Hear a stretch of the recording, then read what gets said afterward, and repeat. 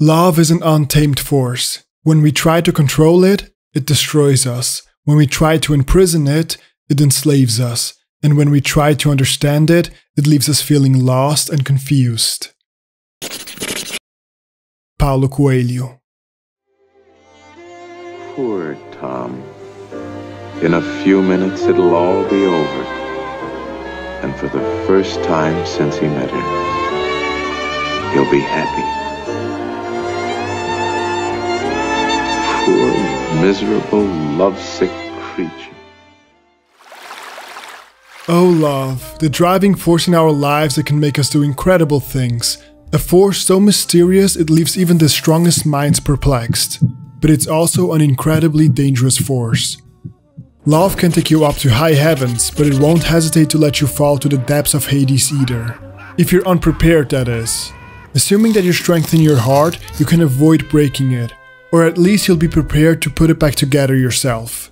It's a topic that I've tackled before on my channel in my last Fairly Odd Parents video, so if you want to dive deeper into this topic, feel free to check that video out, or of course, you could watch Made2Express's video on the same Tom and Jerry episode. It's an episode that is often talked about here on YouTube, and Made2Express definitely captured the essence of this episode perfectly. Blue Cat Blues is a Tom and Jerry episode that is unlike any other an episode that tackles the force of love exceptionally well. From the very beginning, there was a strong magnetic attraction between them.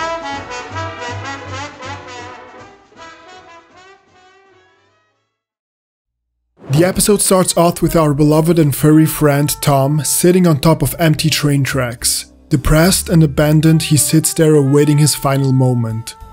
Life has been sucked out of him completely, all he has left now is a few moments for himself. Just a few moments before it's all over. Before the train arrives though, Jerry tells us how it came to this. He explains in bitter detail how his friend lost all his resolve to live. We are then brought back to a sunny afternoon where Tom and Jerry are enjoying a drink together. When suddenly this, well, to be honest, not so beautiful female white cat walks by. But regardless of my opinion, Tom loses it completely he is instantly in love with her, no doubt in his mind. She has to be the one. And so, while Tom goes on the pursuit of his love, Jerry does everything in his power to stop his friend from getting hurt. He knows too well where this will lead if he doesn't. But it's to no avail. Tom is completely infatuated with her. His eyes have nothing more to see but her. His body has nothing more to fight for but her. And his mind has nothing else to think about but her not even himself. And at first, that wasn't an issue. She seemed to be returning the love at least somewhat, and that made Tom happy. Happier than he's ever been before, for that matter. He's feeling something new and mystical the feeling of love. And though he doesn't quite understand it, he doesn't care much. In fact, he has no care at all in this big wide world of his. But it is still a small world after all. And before Tom is even ready to handle this new love of his, it's already at risk of being taken away from him. Mr. Butch has set his eyes on Tom's girl and quickly started to win her over with many kisses and luxurious gifts. However, Tom was not about to give up either. His entire being was not only in love, but also obsessed with her. Whatever he could muster, Tom would do to win her back, and so he did exactly that. At first, he buys her flowers. Then he tries to win her over with perfume. He wasted all of his savings to buy her the smallest diamond ring ever, and after all else, he signs away his life to buy a car to impress her. He literally sells himself into slavery for a girl that won't even recognize him. And needless to say, Mr. Butch is always a step ahead of him and wins over her heart without even breaking a sweat. Afterwards, our dear Tom is in the gutter, literally. He is left with this huge gaping hole in his chest, as if someone had just torn his heart right out. Tom is depressed. He can't bear the pain he's in, and so he tries to fill the hole inside by drinking the sufferings away. But nothing will fill the void. In fact, there is nothing left for him to fill the void with, and he can't bear to live with it any longer. We are then brought back to the present, seeing our beloved Tom again, and suddenly feeling really bad for him. And it all worsens once Jerry realizes that his girl has just betrayed him as well, bringing him to the same spot Tom is in, the two friends side by side once again. But this time, it would be their last journey together. And all of it just because of love, or better yet, because of the lack of love for oneself. When the jewelry failed to impress her, he signed away his life to buy a car.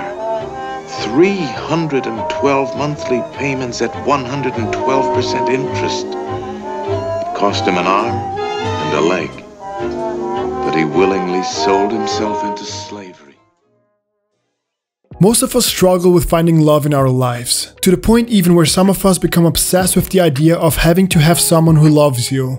But the truth is that until you are ready to love yourself, you will never be able to love others, and in turn, no one else will be able to love you. It's a lesson my mom taught me when I was young. She used to always say, before you can truly love anyone or anything else, you first have to love yourself. But as a childish and immature kid, I didn't know what she meant, and so it took me a while to make use of the advice. And then as a teenager, I was always desperately looking for love. Not unlike our friend Tom here, really. I was obsessed with the idea of needing a girlfriend and never focus on appreciating myself. Which obviously inevitably led me to many heartbreaks. The last of which was by far the worst. After being dumped, I found myself in a similar situation to Tom and Jerry. I was left with this emptiness inside of me, and I couldn't find anything to fill it with. I don't really like to talk about it, but I spent a month crying daily and drinking almost half a gallon of undiluted apple syrup on a regular basis. Basically pure sugar. And trust me, I wish I was exaggerating. Like Tom, I was lucky to have friends who stood by my side at the time and helped me out with my depressed state. But unlike Tom, I refused to give up on life. I would be lying if I said that at the time I hadn't thought about it, but in the end, I persevered. And I grew a lot because of it. It made me more of a man and beat the childishness right out of me.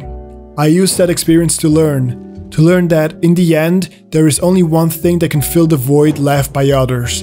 And that is a deep love for oneself. Not in a self centered way, but in a caring way. Knowing who you are and what you're worth will give you a new sense of appreciation for yourself. Tom and I back then, we both lacked that love for ourselves. And when that girl walked by, it took us by surprise. We became obsessed with the idea of loving and forgot to actually love. We then lost a bit of who we were in the process, and so, once she was gone, we felt like nothing, as if there was nothing else to what made us who we were. We were so focused on her that we forgot that we even existed. And now that she was gone, we felt like a body without a soul. Tom and I felt like an empty shell, desperately craving our being to come back. But the truth is that whatever made that girl so special, so beautiful, so loving, and so unique was 50% the creation of our own self. Whenever you love someone, 50% of that love is made up of you. But many of us tend to forget that. We start believing that we are worthless and that our love interest is this godlike figure who makes up 100% of the relationship. But that isn't the case. You are worth a lot, and you are also worth loving. And I'm not only talking about you, Tom, but I'm also talking about you, the viewer. Loving oneself is the first step in finding true love. Otherwise, you will only find yourself in a toxic relationship filled with materialistic garbage. Let me tell you something that helped me back then. It's okay to be flawed and it's okay to feel heartbroken. See it as an opportunity to grow and to learn. Try to appreciate who you are and what good you bring to the world. Try to appreciate yourself and then strive to become a better version of yourself. Because let me tell you, you are worth loving. But first, you have to learn to love yourself. No one is obligated to loving you because no one is enslaved to living with you. No one but yourself, that is. So you have to love yourself, otherwise, no one else will do it for you. And then life will be miserable and dark. Learn from the mistakes I've made and learn from the mistakes Tom and Jerry made. Learn to love yourself for who you are, because trust me, you are worth loving. Learn to love yourself so that you can enjoy to love others. If anyone would like to talk about any doubts they have about your life or any issues they're facing, please text me on Twitter, Insta, Discord, or just email me. All the links are on the YouTube banner or in the About section of this channel, and I'm happy to talk to anyone who needs it. Thanks for watching guys, feel free to subscribe and check out one of my previous videos right here. This channel is all about looking at video games and pop culture from a different perspective, about digging deeper into the meaning of life and how we can get there with video games, movies and TV shows. So if that interests you, maybe subscribe, maybe hit the bell to be notified? What about that, huh? Yeah? Okay, good. See ya! Do you think I can be a hero too?